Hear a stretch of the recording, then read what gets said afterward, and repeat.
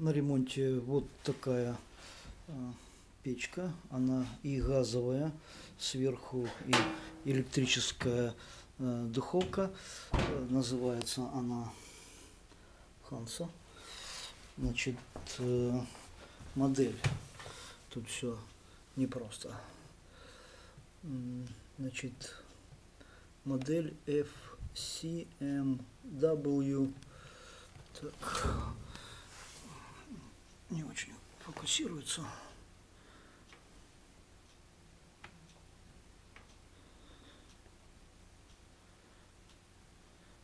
Шестьдесят восемь ноль двадцать. Значит, в чем, в чем поломка? А, обращаю ваше внимание, что вот здесь я уже самостоятельно переключаю. Вот это выключенное состояние. Э, И потом включаются различные режимы. Э, Это вот все режимы. Эм, Нижнее, вентилятор, верхнее, эм, оба, м, и нижний и верхний. Тут вместе с венти- нижний и верхний с вентилятором. Э, Ну, суть в чем, что на любых режимах не нагревается внутри ни низ, ни верхние э, тены, э, вентилятор не работает. Ну и э, предварительный э, диагноз вот здесь э, стоит э, пакетный переключатель. Э, Питание попадает, потому что, э, в принципе, загораются правильно, э, но потом после пакетного переключателя силовые контакты где-то отгорели. Э, Разбираем. Э, Для того, чтобы попасть сюда, нужно снимать верхнюю крышку. Верхняя крышка э, снимается, откручиваются все винты, возле каждого по два винта, и тогда верхняя крышка открутится, и мы доберемся до вот этого пакетника. Ага. Ну, скорее всего так. Да. После того, как мы э, верхний, верхнюю крышку открутим, тогда уже можно работать и и уже с этими выключателями. Э, Ну, приступаем к разборке. Значит, возникла проблема. Э, Некоторые винты с нормальным, значит, винты под крест, крестовую отвертку, где шлицы нормальные, там открутилось, но кто-то уже откручивал, видно, неоднократно. Э, Шлицы полностью сбиты и открутить невозможно. Э, Что сейчас делать, буду думать. Э, Скорее всего, воз- возьму, пропиляю здесь под плоскую отвертку место и буду откручивать плоской отверткой. Ну, как-то буду выкручиваться.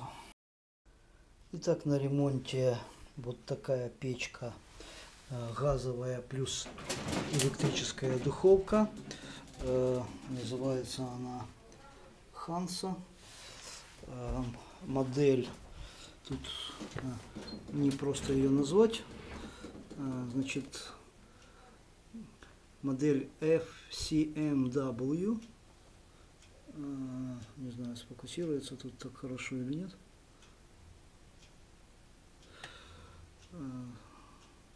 Как-то так.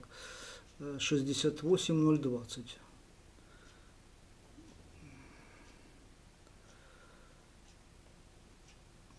Не знаю, как. Э, Значит, э, диагноз. При включении э, при включении подает признаки жизни, загораются лампочки, э, одна, вторая, то есть он э, делает, как бы питание попадает на пакетник. Здесь э, специальный командный переключатель. Э, питание попадает и какое-то даже выходит, э, но на тены э, э, вряд ли сгорели все сразу тены. Здесь есть внизу, есть два вверху э, и есть вентилятор. Э, При переключении ничего из этого не работает. Э, Ни когда вот включаю два нижних, э, не, два верхних, тут э, один постоянный, один то включается, то выключается. Ни, ни вентилятор, ничего не работает. Поэтому, скорее всего, дело в пакетном переключателе. Для того, чтобы до него добраться, нужно снять верхнюю крышку. Заднюю пока открывать не будем, скорее всего, там все в порядке. Но тут возникла проблема. Чтобы снять верхнюю крышку, нужно по два винта возле каждой горелки открутить. И те винты, которые хорошо откручиваются, не со слизанными крестовыми шлицами, открутились нормально. Но вот э, некоторые пришлось разрезать. Э, сбит э, крест, и я с помощью вот такого инструмента, э, кто-то дремель его называет, э, кто-то э, по-другому, значит, что нужно? Нужно вместе, ну, например, там, где расходится крест, сделать пропил под плоскую отвертку. Эм, значит, одна там, где оно неплотно выкрутилась, а вторая у меня, я поспешил, и она э, выкручивалась и обломался. Это такая проблема. Теперь ее нужно высверливать, что-то делать. Эм, что я посоветую? Э, не спешите откручивать. Если слышите, что туговато, пшикайте Э, какой-нибудь э, ВДшкой, у меня тут э, смазка на протек, и раз, расхаживайте так, чтобы не остался конец там. Это очень важно, потом это еще займет больше часа времени на то, чтобы этот вопрос решить. Ну а так, в принципе, просто очень быстро, в течение одной минуты можно сделать надрез. Уже не буду, а могу в принципе показать. Значит, э, включаем и пилим. Ага, красота. Сейчас включу в розетку.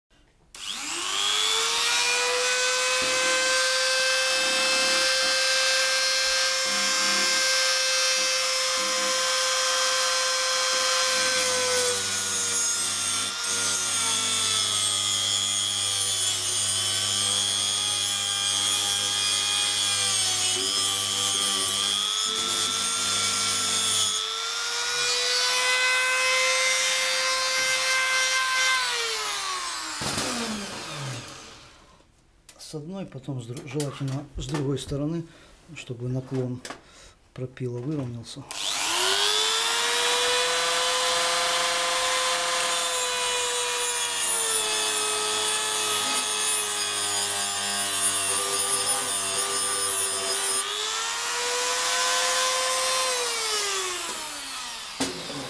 Ну, собственно, все. Несколько секунд и хорошей отверткой э, с хорошим с хорошей битой откручиваться будет. Ну, тоже что-то немножко плотновато, поэтому буду потихонечку э, пшикать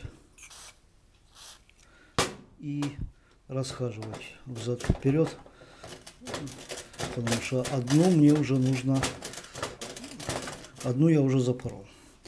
Ну, короче, займет это какое-то время.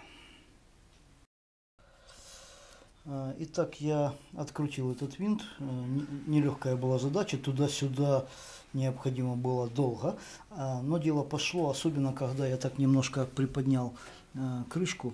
Она так немножко э, приподнимается. И с этой стороны пшикнул прямо на резьбу, на конец резьбы. Я так она немножко быстрее подалась. Значит, для того, чтобы открутить, она откручивается вместе с крышкой, тут она подпружинена. Значит, э, с обратной стороны э, пружины, э, они тут фиксируются в корпусе. Пружинки снимаем и откручиваем крепление вот это. Еще два винта. И тогда крышка снимется. Ну и все. Э, теперь снимаем крышку и будем смотреть, что у нас внутри. Ну, значит, э, крышка вынимается, просто здесь она никак не крепится, э, может у некоторых застыть, заржаветь, но она просто вынимается. Ну и сзади есть два винта, один и второй, заднее крепление, и тогда крышку полностью можно снять. Что мы имеем? Имеем доступ к командному аппарату. Э, командный аппарат здесь. Сейчас будем разбираться, куда подходит э, питание, где может быть плохой контакт. Э, немножко больше освещения. И сейчас будем во всем разбираться.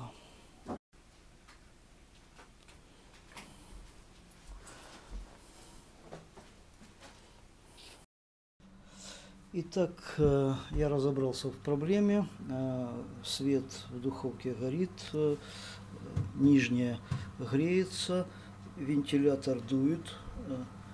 Наверное, должно слышно быть. И верхняя тоже нагрелась, одна из верхних. Тут одна временная, одна постоянно горячая. Значит, Проблема все-таки, конечно, в командном аппарате, но, но специфическая, ничего не отгорело. Значит, я сейчас попробую показать. Э, считаем с правой стороны. Вот э, первое, получается, вот э, первый и второй контакт. Первый, второй. Контакт завис в, разомкнутом состоянии. Он э, размыкается только во время выключения. У него, видите, там, где вот это вот э, широкая такая, э, широкое ребро, это значит, он почти все время выключенный. Э, а тут всего один э, в, одном месте бугорок, э, и, и то он нажимается и размыкает контакт только когда на нуле. Все остальное время он должен быть включен. И вот он в этом выключенном состоянии, значит, между двумя контактами, правой, той стороной и этой, контакт такой подвижный. Бугорочек нажимает на контакт, он уезжает вниз и размыкается. И вот как-то он там завис э, в том положении. Я его отщелкнул э, и Сейчас оно работает. Но проблему это не решает, в том смысле, что он может снова зависнуть. А сейчас буду смотреть, что можно сделать, чтобы вернуть э, такое состояние подвижности, э, может быть, пружинку. А, ну, сейчас буду разбираться с самим аппаратом. Итак, э, пришел новый переключатель в принципе написано, что оригинал э, точно такой же, э, как этот. Нотификация немножко по-другому выглядит. Впереди металл. Но чтобы поменять, нужно просто отсюда контакты вытаскивать, сюда вставлять, проверять, чтобы эти контакты были плотно вставлены, потому что от этого будет зависеть э, нагрев контактов. Ну, собственно, и все. Сейчас э, отсюда убираю, туда вставляю и собираю в обратной последовательности. Итак, я собрал, уже переставил на новый собственно, суть проблемы в том, что э, сейчас покажу, должно сфокусироваться.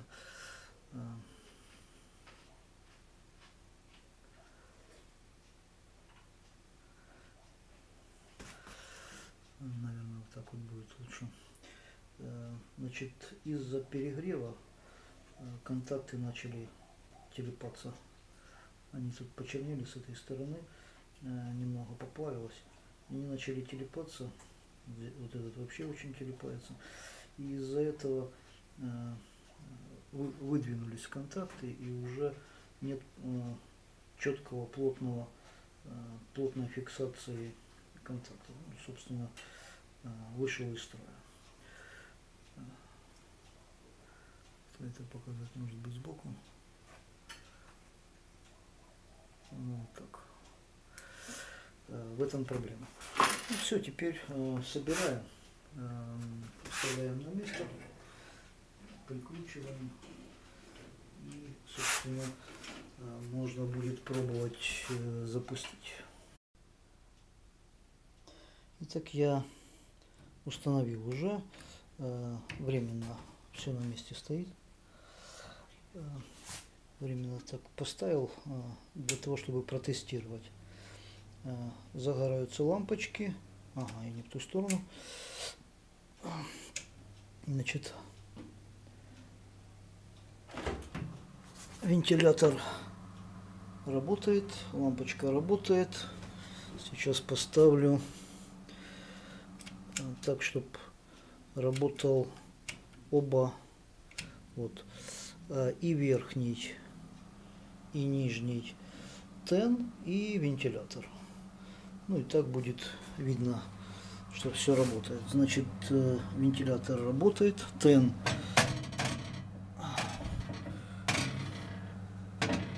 а, один из один из тенов не знаю, слышно, что он шипит или нет.